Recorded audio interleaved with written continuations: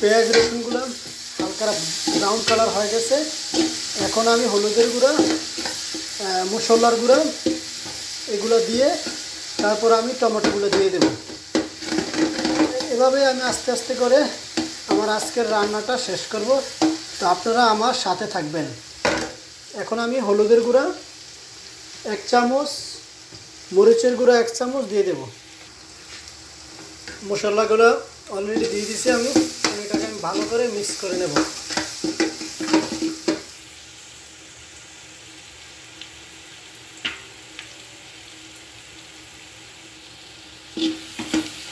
এখন আমি এগুলো ভালো করে মিক্স করে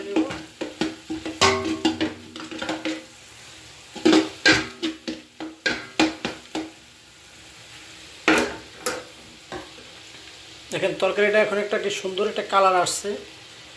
এখন আমি টমেটোগুলো দিয়ে দেব। টমেটোগুলো আমি দিয়ে দিয়েছি।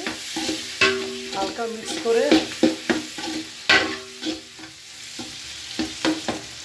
হালকা মিক্স করে নিয়েছি। এখন আমি এটা এখন আমি ডাকনাটা দিয়ে দেবো। দশ মিনিট পরে আমি এই টমেটোটা আমি একেবারে মিক্স করে দেবো। ভিওর্স দশ মিনিট হয়ে গেছে। আমার টমেটোটা দেখেন একেবারে মিক্স হয়ে গেছে পেঁয়াজ রসুনের সাথে। এবং কালারটা কত একটা সুন্দর একটা কালার আসছে। টমেটোটা মিক্স হওয়ার কারণে। আমি একটু চামিচ দিয়ে একটু টমেটোটা আরেকটু মিক্স করে নিই। দেখেন, খুব সুন্দর একটা কালার আসছে। একটা গ্রামও আসছে এখানে। তো আমি এখন হালকা একটু পানি দিয়ে দেবো। আমি হালকা পানি দিয়ে নিছি। কারণ নয়তো নিচে আবার লেগে যেতে পারে। তার জন্য আমার একটু পানি দিয়ে নিছি। দেখেন।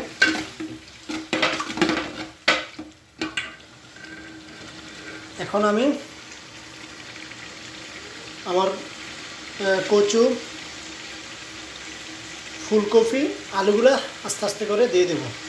আপনারা আমার সাথে থাকুন। যারা এখনও আমার চ্যানেলটাকে সাবস্ক্রাইব করেন না, তারা এখনই আমার বিডি চাঁদপুর চ্যানেলটাকে সাবস্ক্রাইব করে একটা লাইক দিয়ে আমার পাশে থাকবেন। আমি এখন কচুগুলো দিয়ে দিচ্ছি কারণ কচুগুলো সিদ্ধ হয়ে- হইতে একটু সময় লাগে। তার জন্য কচুগুলো আগে সিদ্ধ করে নিই। তারপর আমি বাকি যে ফুলকপি, আলু আছে এগুলো দেবো, কারণ ফুলকপি আর আলু সিদ্ধ হইতে বেশি সময় লাগে না। সেই জন্য এখন আমি কচুগুলো এভাবে দশ মিনিট দিয়ে রাখব। দিয়ে কিছুটা সিদ্ধ হওয়ার পরে আমি ফুলকপিটা দেবো এবং আলুটা দেবো। দশ মিনিট চুলাটা একটু কমিয়ে দেবো। নয়তো নিচে দিয়ে আবার লেগে যেতে পারে আগুনের হাতে। দশ মিনিট পর আমি আসলাম। আমার কচুগুলো হালকা সিদ্ধ হয়ে গেছে অলরেডি এখন আমি আমার ফুলকপি এবং আলুগুলো দিয়ে দেব। ফুলকপিগুলো এখন আমি দিয়ে দিচ্ছি। এখন আলুগুলো আমি অলরেডি দিয়ে দিয়েছি। আমি আলু কচু, ফুলকপি সবগুলো মিক্স করে হালকা পানি দিয়ে এখন পুরো গরম করে নেব। তারপরে আমার তরকারিটা হয়ে যাবে। তো আমি শেষ পর্যন্ত আমার পাশে থাকুন সবাই, আমার ভিডিওটা দেখতে থাকুন। যারা এখনও আমার চ্যানেলটাকে সাবস্ক্রাইব করেন না, এখনই সাবস্ক্রাইব করে পাশে থাকা বেল আইকনটি বাজিয়ে দিন। একটা লাইক করে দিন, একটা কমেন্ট করে দিন। এখন আমরা দেখে নেব মিক্স তিনোটা দিয়ে ফুলকপি, আলু এবং সই এগুলো সিদ্ধ হয়েছে কিনা? এগুলো সিদ্ধ হয় না। এগুলো একটু লাড়াতে দিই সিদ্ধ হওয়ার জন্য। আমরা এখন পানিটা দিয়ে দিব। তারপরে আমাদের তরকারি রান্না প্রায় শেষ পর্যায়ে আছে। তা আপনারা এখনও যারা আমার চ্যানেলটা সাবস্ক্রাইব করেন না, তারা আমার চ্যানেলটা সাবস্ক্রাইব করে আমার পাশে থাকবেন। পাশে থাকা বেল আইকনটি বাজিয়ে দিবেন, একটা লাইক করবেন, একটা কমেন্ট করবেন। সবাইকে অসংখ্য ধন্যবাদ। আমার রান্না অলরেডি শেষ হয়ে গেছে। এখন আমি আপনাদেরকে দেখব মাছগুলো দিয়ে দেবো এখন।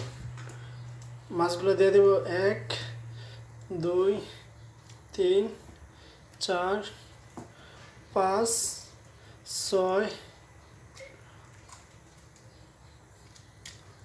তো অনেকেই আবার পানিগুলো গরম হলেও মাছগুলো দেওয়া ঠিক, কিন্তু আমি এখন দিয়ে দিচ্ছি আর এখানে আসব না। হালকা চুলাটা দিয়ে আমি চলে যাব, আমার অন্য একটা কাজ আছে। তো আশা করি আপনারা এভাবে আমার পাশে থাকবেন সব সময় সবাইকে অসংখ্য ধন্যবাদ।